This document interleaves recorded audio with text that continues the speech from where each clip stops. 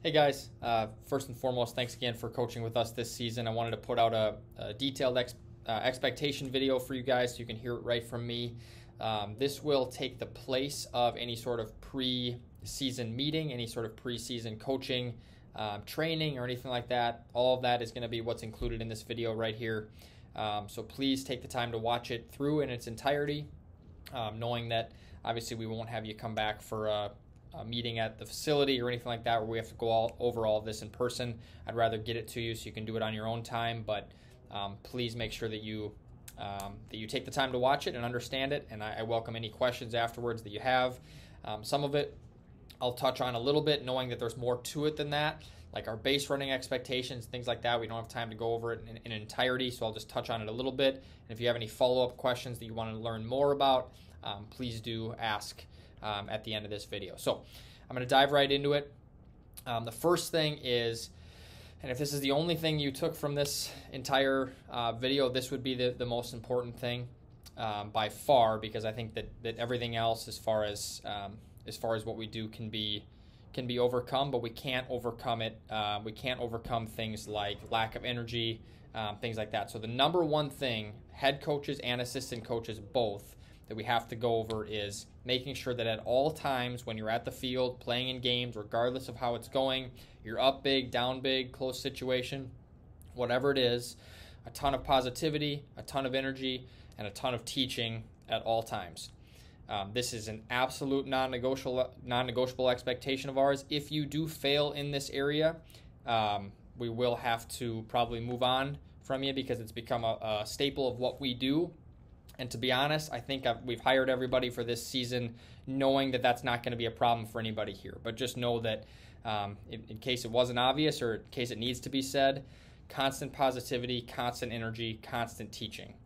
You're going to be in situations where you're going to win games. You're going to be in situations where you get blown out. You're going to be in situations where you lose heartbreaking games and you win thrilling games and everything in between on that spectrum. At no point in time in any of that does your positivity, energy, and teaching stop at any point in time? And, I hope that you guys understand how important that is to us. Um, and ultimately, that will give a sense to the players that we care a lot about them. Um, we care about their development. We care about them personal, uh, personally, and to the parents as well of those kids. If they can constantly see that and feel that from you, they will know um, how important it is uh, to us um, that, that their their son, their athlete, has a great experience here. So, um, again, if that's the only thing you took from this video, just know that that's that's the most important thing to us. A couple of examples of how to show that. Obviously, you know, this goes all the way up through the high school ages. Um, they're coming off the field, whether it was a great one, two, three inning or an inning where they made multiple errors. If you have things that you need to uh, talk about, go ahead and do it. But you're out, you know, almost on the baseline, high fiving guys as they come off the field and, and demanding that no matter what, they start they bring energy into the dugout with them when they go hit. Okay, so like nice job, nice job, high five, high five. Every single player that comes in, that's a great way to show that. Uh, being really vocal, being really energetic, um, and showing them that hey, we're engaged in this thing. I don't care if that was a one, two, three inning or we made five errors in the field. Hopefully, we have more of the one, two, threes than the five errors. But regardless, we're showing positivity, energy, and then of course, if it is, if it was a rough inning and you have things you want to talk about, like hey, second baseman, you didn't cover the base when we had a double play opportunity, stuff like that. Of course, you need to, to that goes to the teaching part now. You got to teach and show them that you um, are trying to make them better at baseball as well. So it's not just about, hey, you're doing great. Well, no, you made two mistakes, and let's talk about those things. But at the end of it, I can't wait to watch you succeed next time um, because I know that you will, and that's that's kind of the constant message that goes on over and over and over again. So please take that seriously and take that to heart, and hopefully that you understand how important that is to us. Um, next thing that will just kind of be a, a basic uh, question or, or, expectation that we have is, is the playing time expectations. Of course, on every single team, there's going to be a top end of your roster and a bottom end of your roster, even if they're all talented or they're all, you know, trying to find their way in baseball, whatever it is, you'll have a top end and you'll have a bottom end. You do not need to build a lineup as far as one through whatever that gives everybody equal time at certain parts of the lineup. You do not need to do that. What you do need to do is make sure that there's no, and we'll, I'll, I'll show you the sheet here in a second, but nobody sits, you know, a, a bunch more than everybody else. Everybody else gets roughly equal playing time. Nobody sits more than two innings in a row. Okay, so um, the sheet that we have that you, you guys will all get this with your folder. But this is your lineup, one through whatever, how many guys, however many guys you have that day. This is the first inning, second inning, third inning, fourth inning, you know, all the way on and on and on. Usually before the game, um, the night before or the morning of, whatever, I'll write this out and I'll write like the first three innings because you can kind of say, okay, so I'm hoping that my pitcher at least gives me three. So whoever that is, you can write the pitcher, and then everything else you can kind of fill in. So um, if you have 11 guys at the field with you that day, obviously two guys are on the bench, while nine guys are out on the field, but it's not the same two guys on the bench for all three of those innings. The guy that sits the first plays the second and third at whatever position he plays. And then, you know, the uh, two new guys sit in the second inning, two new guys sit in the third inning, and by the time the game is done, you'll have some guys that sit have sat two total innings and some guys that have sat only one. Um, I know I personally, if whoever's catching that day probably doesn't sit, um, so that they can there can be some continuity there. So that's the one position that it's like you don't need to worry about. Okay, that guy has to sit an inning. If it's the catcher and you want to have that catcher catch the whole time, go ahead and do that, no problem. Um, another easy way to kind of keep this in check would be if you have really scheduled pitching. A pitcher will sit the inning before he pitches and the inning after he pitches. No matter what, the pitcher should sit the inning after he pitches.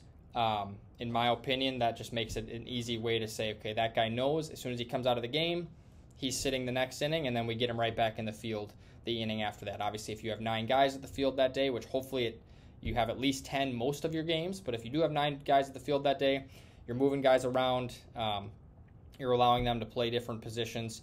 You do not need to compromise your ability to win games when you do this. Um, but you do have then you can strategically you have to strategically then plan out okay when is maybe my best shortstop going to sit? Because inevitably if you have one stud shortstop he can't play the whole time. Somebody else got to get some time there um, and and on and on and on we go. So hopefully that makes sense about what uh, what our playing time expectations are. I know that um, if it was all about just winning games constantly we know that we would build lineups different than that. High school coaches when they get you know into playing high school games spring high school games or college coaches or whatever that looks much different. You don't have to have equal playing time. You play the best nine guys and that whoever can lock down the shortstop position that's who plays it every single time. It's different here okay? The families have an expectation about what this will look like for for them um, and hopefully they do understand. They have some self-awareness of like hey my kid is really not an infielder. He wants to play infield, but we got five guys that are better at shortstop than him. He might not get too much time there. That hopefully there's some self awareness there, um, but for the most part, you know, make sure that everybody gets some time at what they consider to be, you know, their two to three top positions that they play because they're trying to develop this fall at those areas so they can move on to the next season with us or the next spring season or whatever it might be. So that's our playing time expectations. Again, you do not have to build a lineup that's reflective of, okay, he hit seventh one game. That means he's got to hit second the next game. You don't have to do that. But defensively, nobody sits, you know, a ton more than everybody else. We kind of move things around um, and making sure that that everybody's in a comfortable position where they're staying engaged, um, staying engaged constantly. So that's the playing time expectations. Pitching expectations. Um, this one is uh, a really important one, also obviously for the health of of athletes. Um, I, I struggle to put a number on it. I don't think there is a correct number of pitches that any pitcher, you know, depending on the age, should be staying under. I do know this, regardless of how old they are, 100 is too much. Um, if they're a 10 to 14 year old player, 80 is probably the max, and it might be too much. But again, I struggle to say that because if he threw 30 in the first and 22 in the second. Well, he's at he's only at 55. Well, yeah, but that that 55 is way different than 55 spread over four innings. The arm health, the up and down, the pace of what he's doing, the, the health of that and the safety of that, those are two very different numbers. 52 after 2 and 52 after 4 is way different. 52 after 4, cool. Send him out there for the fifth. 52 after 2 you got to start thinking about whether or not it's safe to put that athlete back out there. And I, we do trust your feel and trust your judgment, But I don't ever want to get into a situation where, uh, whether the parent brings it to our attention or we notice it on Game Changer or whatever, where it's like he threw 103 pitches, and then we call you and you're like, yeah, but we were trying to win. Yeah, don't care as much as the health and safety of the athlete. So um, hopefully you do understand that that we care much more about the health and safety of our pitchers than we do about, yeah, but it was the semifinal game and we were trying to win. We'll deal with the repercussions of losing a lot easier than we will deal with the repercussions of we have an elbow in- injury because of overuse. And to be honest, that's one of the main things that a lot of families have said that they enjoy about the club situation or coming back to us specifically is that maybe over the summer, depending on the coach, not all the coaches obviously, but depending on the coach, or maybe over the summer in their associations, they were kind of abused a little bit. You know, the coach felt the pressure from the parents and wanted to win. And so, yeah, he pitched 70 pitches on Friday and came back for three more innings on Sunday. Like, that's just not safe and appropriate. So, um, please make sure that you're monitoring the health of your athletes and being really, really smart. And if you're ever in a situation where you're like, I'm not sure one way or another, um, always err on the side of let's get them out of there, get somebody else in, even if that means that, hey, hopefully it doesn't happen, but you lose the game because of it. Cool. We'll, we'll deal with it. Um, over the long term, it's not going to happen enough to make it say that we're going to lose all the time because of it. Um, but we will keep our athletes safe over a long period of time, and that's really, really important to us.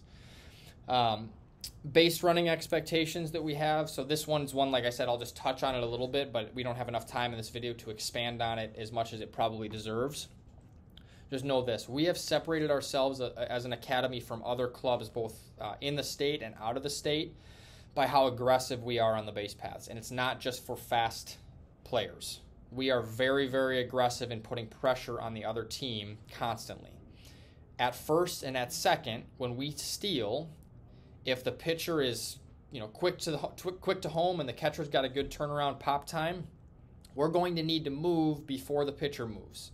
Okay, and there's it's more elaborate than that, and it, and hopefully you've seen it whether you've seen it because you've been with us or you've seen it because you've been at a practice um, before you play your first game and you've seen it done. Either way, um, we hope that that you know maybe at some point in time you're a little bit familiar with what we're talking about. If the pitcher comes set and he's going on UCL and goes every single time, well, that means that the player jumps it on U, C, jump. Pitcher picks up on L, we hit the jump, and we go to second base. That's kind of the basic, um, really quick version of what we do.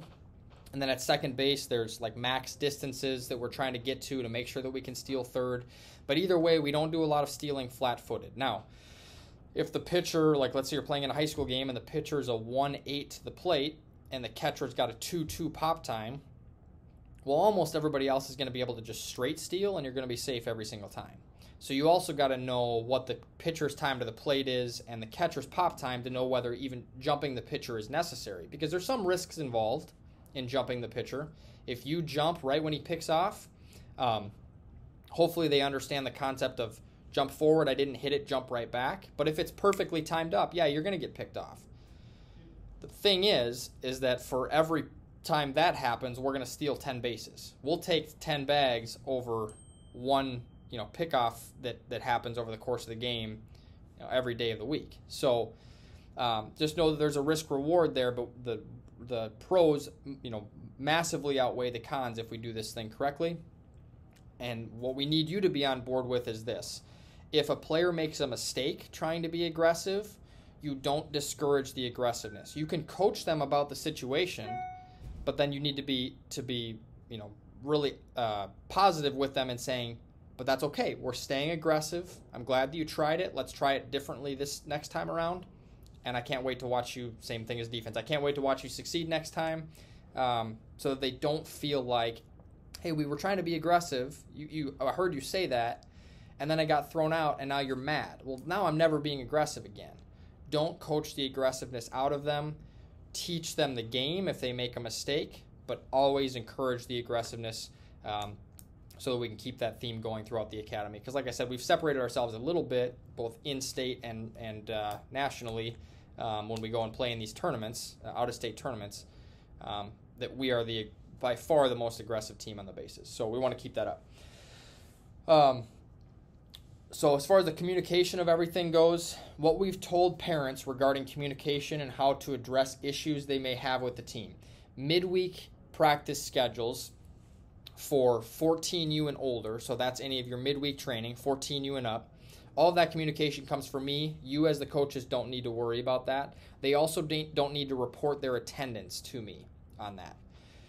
The 10 to 13U guys, you have midweek team practices, which means you can let them know about that. They should know by now, but you can let them know about that, and um, and then they can report back to you about whether or not they will be there. Um, so there's a little bit of a difference between the two ages, just given the, the kind of the type of practice that takes place. So 10 to 13U has midweek team practices. So it's a little bit more important that they report to you as the head coach um, about whether you're going to be there so you can build a practice plan accordingly. We don't need to know about any midweek conflicts from any of the players. We only need to know about game conflicts. And I've sent a bunch of emails out to parents and has gotten a res- uh, response from all of them about um, about their availability for the fall and any conflicts they have, and then I will pass that along to you once everybody has gotten back to me, so you know kind of what you're looking at um, for for any conflicts and what the roster size and who who will be there on Friday, Saturday, Sunday of any tournament that you play in. So if the, if they're going to miss a game or a tournament, they need to let me know and you know both, and that's what's been communicated um, to the parents. Any um, any playing time conflicts, like they want to talk about why is my son not playing shortstop more, they've been told to take that up with you directly. They've also been told that there's a 24 hour rule. Okay, so 24 hour rule is really important. It allows everybody to calm down. We're not allowing anybody to approach you in the parking lot, you know, all hot about whatever. Okay, they have to wait. And if anybody does try to approach you, all you got to say is, hey, there's a 24 hour rule on this. We're not talking about it right now. And I don't care at that point, honestly, how mad they are. They know, they've been told, they've signed off on this. Um, so at that point in time, you're just sticking to our to our guns on that, and uh, and we'd be happy to back you in any way, um, assuming that you have followed the guidelines that I've set in place for you about playing time.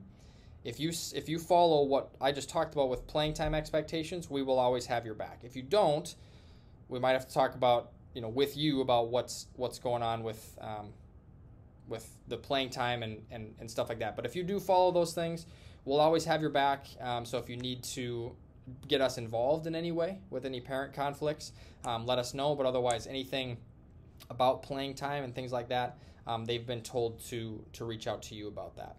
Um, they will also be hearing from you about pre and post weekend emails, um, which is the next thing I want to talk about pre-weekend emails come out, you know, hopefully the, either the day of or the day after the tournament schedule being released for that upcoming weekend. Okay, so um, what's included in a pre-weekend email is almost 100% logistical. All right, there's there's not a lot of like, you know, hey, I'm looking to improve on this or whatever. That's for the post-weekend email. Pre-weekend email is almost 100% logistical. I will send this out in an email with this uh, as well. But here's what goes into a pre-weekend email game time and opponent.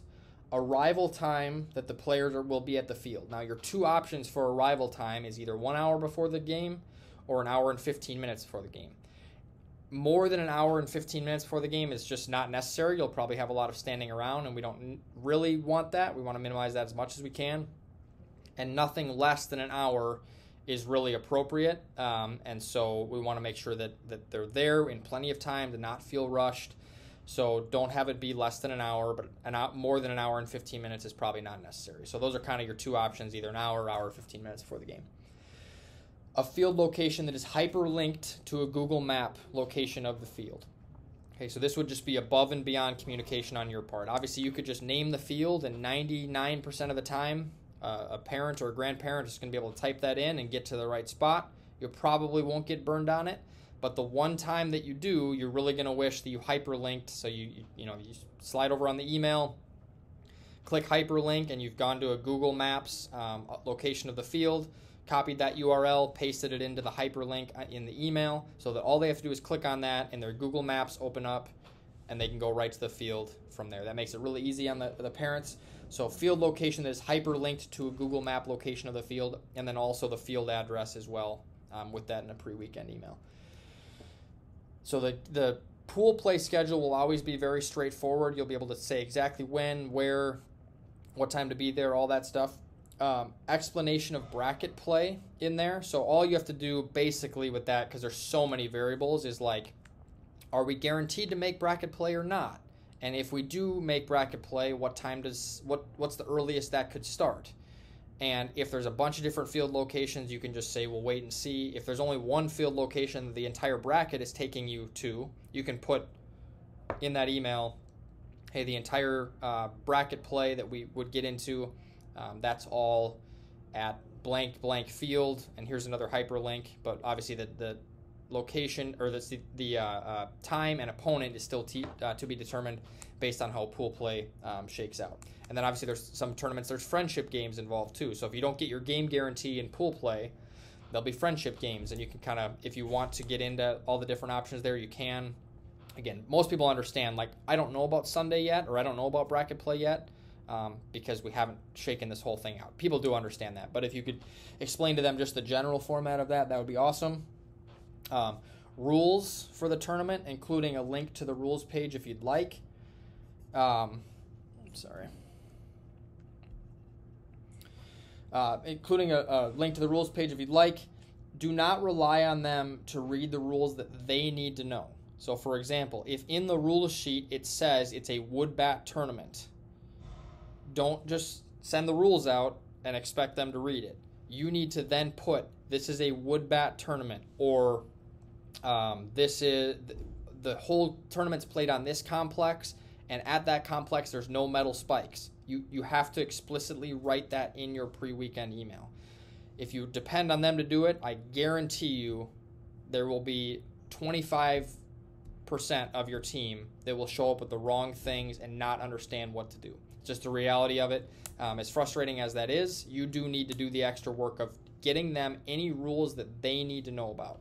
You don't have to tell them about any pitch rules that exist in the tournament. You don't have to tell them about um, roster stuff like can you bat the whole roster or not or whatever. Like you don't have to tell them about any of that because that's stuff that only you need to know as the coach. But anything that pertains to what they need to bring or any rules that that affect parents and the players prep for the tournament, that needs to be written in the email as well. Um, a link to the schedule page to allow them to follow along. So one of the common ways for a lot of tournaments is called Tourney Machine, um, and you can link the Tourney Machine uh, hyperlink into the email so that they can follow along with what your team is and, and kind of any scheduling updates for um, for the entire weekend. Last thing is uh, putting your direct cell phone number in there. I think is a good thing because anything that happens last minute where you may not be able to check your email, they will be able to text you, "Hey, um, there's a road closure on whatever, running 10 minutes late. Obviously, we'd love it if that never happened, but any last minute things, your cell phone number will be the best way to get a hold of you. So if you if you wouldn't mind putting your cell phone number out to the parents, that would be that would be awesome. One thing to make so that that's it as far as the content of pre-weekend emails. One thing to make it easier to do the pre-weekend emails is creating a, a really easy drag and drop list of um, of the emails so that you know that hey, I just drag it from my computer and I put it into my Gmail or whatever I use, and it it'll all go into that, and then you can write from there. So um, always make sure you're blind copying your email addresses of parents. Do not go don't don't put it in the to column or the to um, box. The blind copy box is where you put all the emails for the parents when you're sending when you're sending that out to them. So on the computer, it should be pretty easy to just copy and paste into any platform. On the phone, if you want to do that from your phone, um, a couple things that, that I've noticed. So first of all, creating a, a Google Doc of your um, parent email list. You can just drag from the Google Doc app that you have on your phone and put it into your email. However, Gmail I don't know if it works for Outlook Mail or any of the other different platforms, but Gmail specifically, it does not populate correctly. Um, from my understanding and from what I've tried, it does not populate correctly into Gmail, so that won't work. The Apple Mail app that comes with your iPhone, if you have an iPhone, it does populate correctly into that. So getting your um, whatever email address you're using for the fall into that app on Apple um, Mail will will help you be able to send the email out really easily because you can drag and drop from your Google Doc into the Apple uh, Mail. If you're an Android user, I don't know what that looks like for you guys um, as far as your standard your standard mail app. Um, or if it's an Outlook email or any you know Yahoo email, any other app that you have on your phone. I haven't tried all of them, but just know that I know for sure the Apple Mail app um, is the one that for sure does work uh, with with being able to use it if you want to send out a, uh, any any email of any kind with a drag and drop from your phone. Um, okay, let's talk about pregame routine. So, like I said, they're there an hour to an hour and 15 minutes before um, the game. You do not need to have a warm up for them that matches what we do on Tuesday nights or matches what you do, you know, what we have as an academy warm up. We don't have a standard academy active warm up per se. I know that we'll do the same thing every day at, on Tuesday nights at academy practice um, for the 14 to 18 year olds. But again, you don't necessarily need to follow that. What I do want you to have for sure is something that is consistent. So the first couple times you do it, um, you're going to need to lead it. And then if you want to have players lead it after that, you, you should still be out in the outfield with them so that you know that they're getting a good warm up in, a good active warm up in every single time. And I would just ask that it's something that's consistent. It shouldn't take 20 minutes to warm up their bodies. Um, we'll talk about throwing in a second. It should take five to seven, in my opinion. Um, that way, no matter what the situation is, okay, you're waiting for somebody else to get off the field with the game before you. You don't have a ton of time. You should have five to seven minutes. That's that should be something that you should have. Um, and at the very least, you should do it off to the side of the field if there's space, um, so that the only thing you need to do when you get on the field is throw. Before they throw, it would be a, a J band routine. Um, they're getting a pretty good J band routine from us, both at practice and uh, on Tuesday night practices as well as the youth practices. Um, so you should have that. If you don't know what a, a, a, Jaeger band, different exercises that you can do to have them warm up their shoulder, um, please do reach out and ask. We'd be happy to get that to you. After they do Jaeger bands, it's a throwing routine. So again, this kind of this goes back to um, you do not need to have a, a full um, throwing routine that matches what we do necessarily on, on Tuesday nights or at your youth practices. It doesn't need to necessarily match that, but it does need to be the same thing every single time so there's predictability with what they do. The worst thing that you can do, in my opinion, as a coach is so you're, let's say you get into your dugout an hour before the game and you say, all right, go warm up your body and your arms, and I'll see you in 20 minutes. Okay, there's going to be a bunch of guys that don't do enough. There's going to be a bunch of guys that do too much.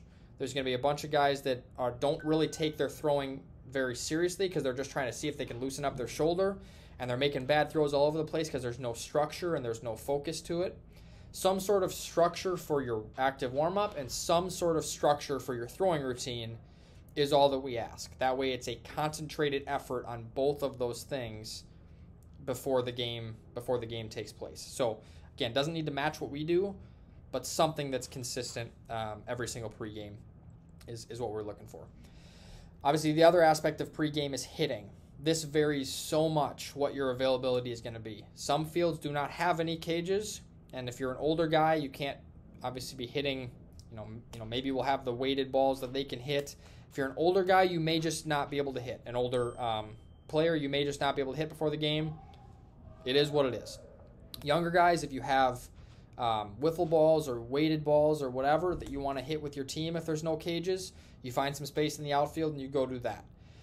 So if there is cages available, um, that obviously changes things. I would recommend, you know, a round eight and a round of six, at most two rounds of eight. Um, I've done as little as one round of eight, depending on the time and kind of what the feel is. Um, you, you're not trying to give them a hitting lesson before the game. You're trying to get them to see a moving baseball as best they can, feel good about themselves when they leave, leave the cage, and that's pretty much it.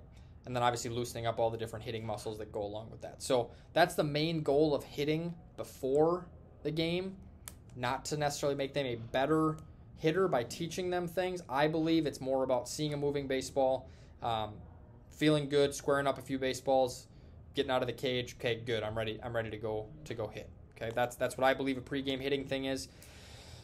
A couple things to maximize your use of time. If you want to have one coach in the outfield doing half of the throwing side of things and one coach in the cage doing half of the hitting, the half the group's hitting, and then flip flop halfway through, you can maximize your time that way. It's a not a great use of time to have everybody waiting at the cage while one guy goes at a time. It does happen from time to time. I mean, there's no doubt. I've definitely done that multiple times, many times. Um, but if you can, for efficiency's sake, have half the group do something else that's active, and then switch halfway through um, once the first half that's hitting done hitting in the cage is done. Um, that way you can be efficient with it. One thing that I always do that I recommend: your starting pitcher and catcher always hit first. So they those two guys get all of their hitting done.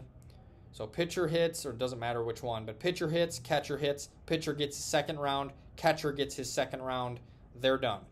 That way, the only thing they have to worry about between there and game time is getting ready to pitch. So your pitcher and catcher go first. I would also recommend that you don't go your entire roster through round one and your entire roster through round two if you have everybody at the cage break it up into groups of two or three. So the pitcher catcher is a group of two. If you want another group of two or another group of three, however you want to make that math work out, that way they know that once they get out of the cage after round one, they're hitting again in like, you know, a couple minutes. They're, they do not have to wait for the entire group to go again. And then once those two or three are done, you send them over to the field. Okay, next two or three are ready to go. And so you kind of segment it in hitting groups like that as opposed to the entire roster um, waiting to get to get their, their cuts in. Last thing that happens pregame is their mental journals. Um, we'll leave this a little bit up to you as far as what you want a mental journal to to be talking about that day. I know for me, like just an example of it, on Friday and Saturday um, for games this summer, I talked about you know our first game of the weekend was okay you know, tell me again what we talked about after last weekend. So they write down what we talked about after the previous weekend, what we need to improve on, and then a specific plan for attacking that in game one to make improvements from what happened the previous weekend. So that'd be game one. Game two, you know, again, it can be what's what's my goal today? What do I what do I want to accomplish?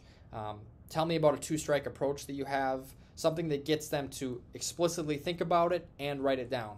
For me, this summer on Sundays, whether it was the travel situation or staying nights at hotels if you're a travel you know the, if you are on the road sundays was hey the energy today has to be a choice you have to choose energy today okay so sundays was a lot about our energy and our focus and making sure that that stays on par with friday and saturday because that those days were usually great on that sundays gets a little bit more of a drag um, it's getaway day. They had to pack up all their stuff, get out of the hotel, whatever. Um, it's just been a long weekend. So fr- uh, Sundays was all about, hey, today I'm going to choose energy. What can I do today to make sure I'm being a great teammate and communicating constantly? Because when energy goes down, communication goes down.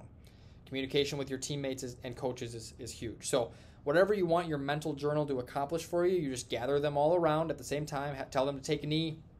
Tell them to get out their mental journals and you can kind of put some focus points out there for them, also allowing them to have some autonomy with it too. Saying something like, What is your goal for the day? is a perfectly acceptable question. They have to really think about it and they have to write it down. You're not always telling them what to write down, you are guiding their thoughts towards some autonomy that takes place after that. So that's the goal of a mental journal. It gets them really focused on what they're trying to do um, and what their plan is for the day. Okay, so that's enough about the pregame routine. Game changer. Um, game changer is just a way for you to track in-game things. So like, uh, what's he at for a pitch count? What's the score? Things that you know might not always have a scoreboard um, on, and you can ask a parent about. Most parents are familiar, at least to some level, with what game changer is, and hopefully you have a parent on your team or two or three that will volunteer to do game changer on a rotating basis or somebody does it all the time, whatever. So hopefully you're able to identify who that is that's willing to do game changer. Um, and then you need to get them a lineup before the game um, so that they have that and they can start entering things into game changer for for you. It also allows us to compile some stats over the course of the season. Um, we we don't do like the stat chasing thing. Um, I don't care about who hit 350 versus 290. Um, there's a lot of different variables that go into that, but it does allow us to track generally what the stats were um, throughout the course of the fall.